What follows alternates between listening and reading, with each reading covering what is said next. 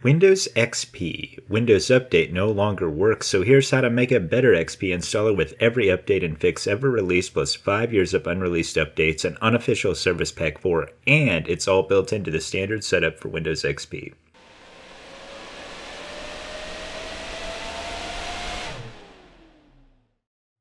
Let's get started with a list of what you will need to complete this XP update project. First of all, a working PC or virtual machine with Windows XP. Yes, it must be Windows XP. And I've got all the files in one place here. An XP ISO or CD. There will be more info on this much later in the video. The 7-zip program to unpack files. Windows XP unofficial Service Pack 4 installer Windows XP Unofficial Service Pack 4 Post SP4 Update Pack, and finally the Ryan VM Integrator to build the final image. Download links for everything and written method in the video description. We'll start off with making some folders. I'm going to take all of those downloads and take them and cut them and we're going to move them into a folder in the root of drive C. So let's go ahead and make that folder. We'll open up drive C and if your XP install is fresh, you will get that warning new folder called XP-SP4 and then we'll just simply move that downloads folder into there and that's where the downloads will be. Again, everything for this project will be in this folder.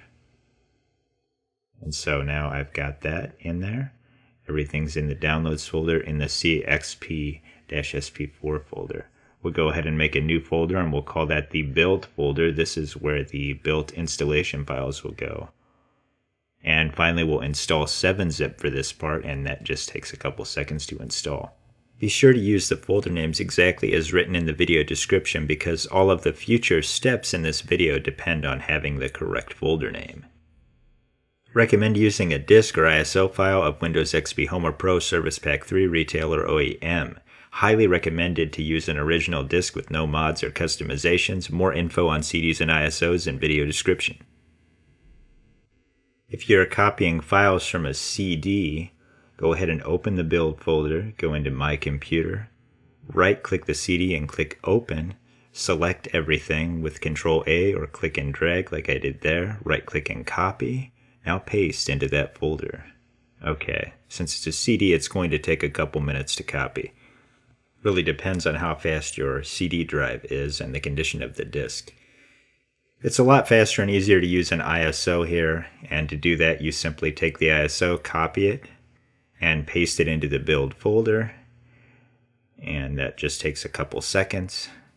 Now right click the ISO and go to 7-zip and extract here give 7-zip a minute to do its thing, and you will want to delete the ISO out of that folder. And there we go. We've got a nice clean folder ready to build. And that's the extracted Windows XP installation files. You can also delete this boot folder from the CD contents. I don't think leaving it will hurt anything, but just to be safe, I deleted it when I built mine. And also remember, again, don't forget to delete the ISO. Now it's time to integrate or slipstream that unofficial service pack 4. To do that, we will need to open a command prompt. So go to Start and open a command prompt, cd space slash xp-sp4 slash downloads and I will zoom in on the command window, put the command on screen, as well as have it in the video description. It's simply the installer name, space slash integrate colon, and then the path to the build folder. So we'll go in and we'll copy the path of that build folder and we'll take that and paste it into the command prompt window and press enter. Of course, you could also type it in since it's a fairly short path and it's extracting. That extraction step will take a minute or two, again, depending on how fast your PC is. The process is fully automated. There you can see it's now copying the files, which are the Service Pack 4 files, and it's building those into the installation image. And again, it will take a couple minutes now. It's done. Some important information about the next part of the video. If you're using XP on these CPUs or older, a Pentium 3 or Athlon XP, do not integrate the next update. If it's a Pentium 4 or an Athlon 64, go ahead and install the next update. Why? Because these older CPUs don't have SSE2, and so that's required for these updates. Consider the possibility of building two ISOs one with this update and one without if you're going to be working with older PCs.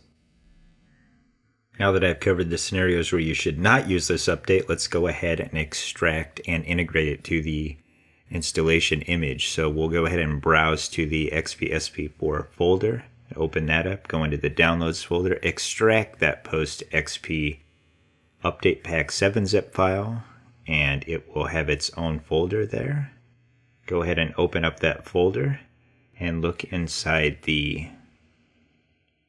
file there with the long name. I'll have it in the video description. Extract that to its own folder.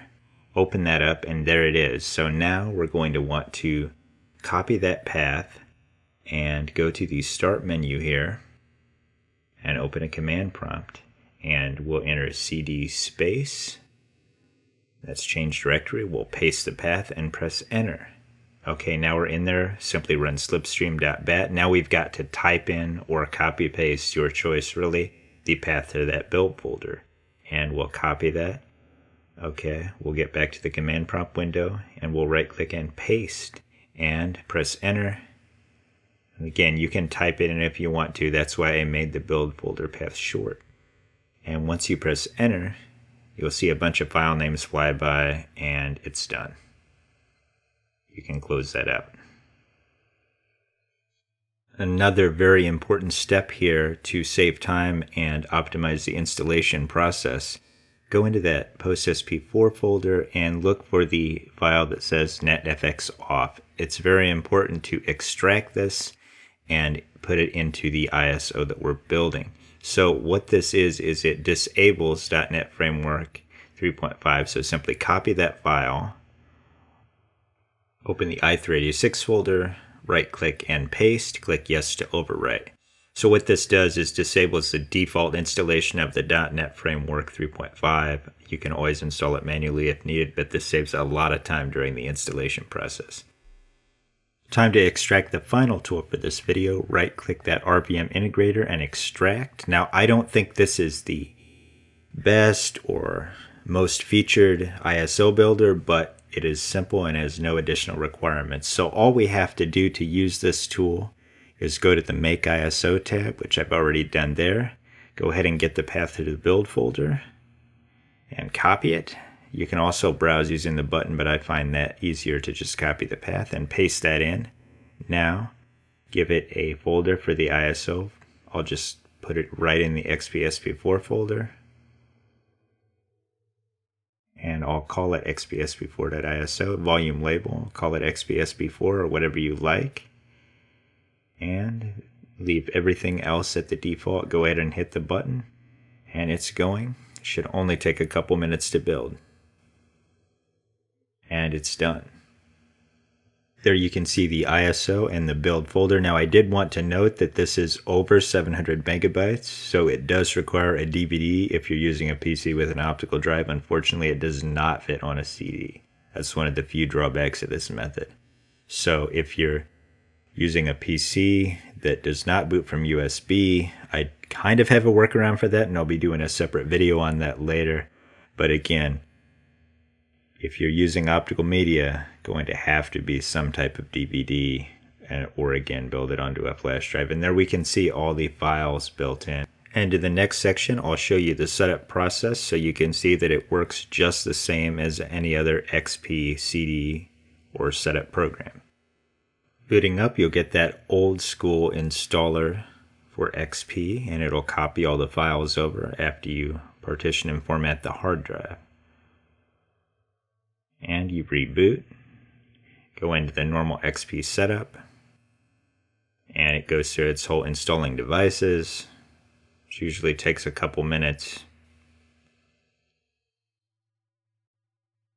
And you go through this, just like any other XP setup. I'd notice no changes to the setup.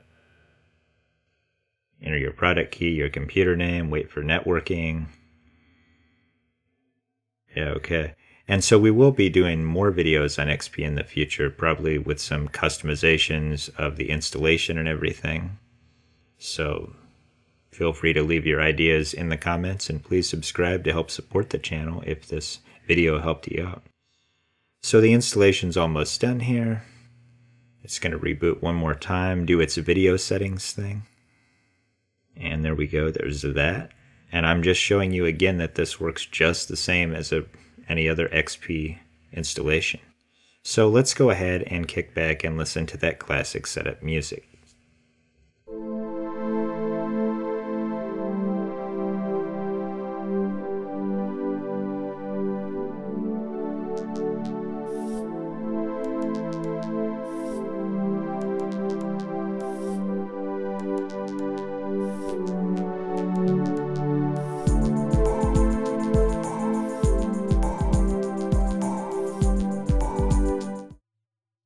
The install is finished.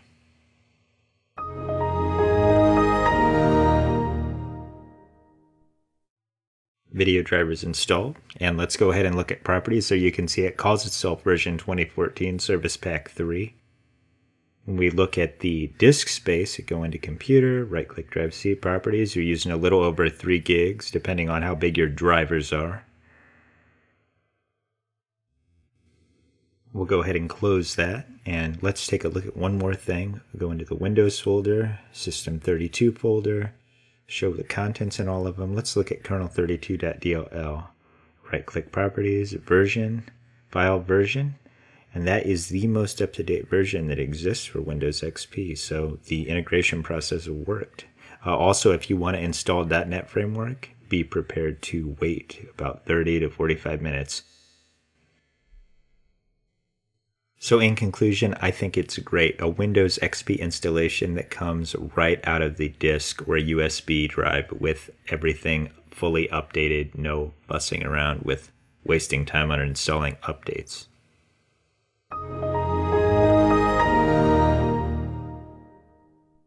It's a great base for other XP projects to build off of. So, in the future, we'll be looking at some other things you can do with XP, such as integrating some modifications, automating the setup, building in drivers for AHCI, RAID, SCSI, that sort of thing, as well as a bootable USB. Please leave a comment if it worked or if you had any problems or if you found anything in this video you would change or improve. Thank you for watching. Please like, share, comment, subscribe, and don't forget to hit that bell for notifications.